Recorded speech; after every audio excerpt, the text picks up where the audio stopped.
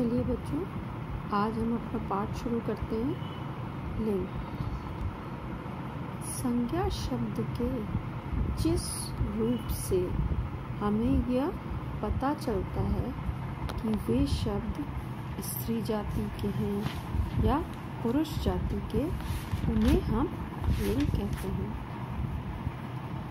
पिछली कक्षा में हमने यह जाना कि लिंग को परिवर्तित करने के कुछ नियम होते हैं, है ना?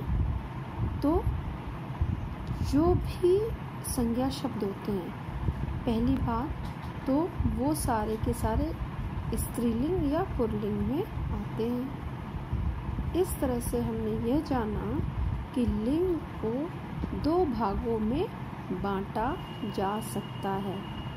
मतलब लिंग के दो भेद होते हैं, स्त्रीलिंग और पुरलिंग। ठीक? अब लिंग किसे कहते हैं? वे शब्द जिनके द्वारा हमें ये ज्ञात होता है, हमें ये पता चलता है कि वे शब्द स्त्री जाति के हैं कि पुरुष जाति के हैं, उन्हें हम लिंग कहते हैं।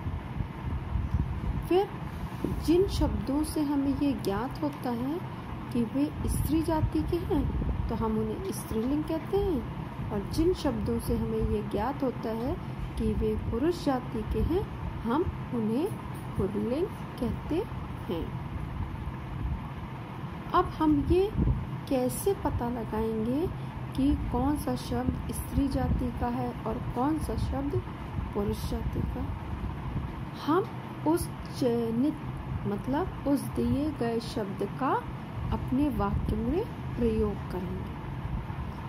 वाक्य प्रयोग के साथ में अगर अंत में क्रिया शब्द रहा, आता है, चुका आता है, या फिर थका आता है तो वहाँ पर होता है पुरलिंग परंतु उसकी दूसरी तरफ़ अगर रही है, खाएगी, सोएगी, जाएगी, इस तरह के आते हैं तो वो शब्द होता है स्त्रीलिंग।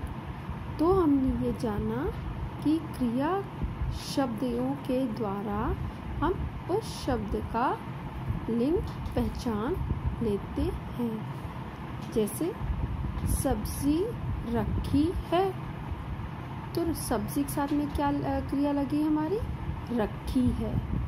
तो जब बड़ी की मात्रा आ गई तो हमने जाना कि सब्ज़ी जो है, वो स्त्रीलिंग है।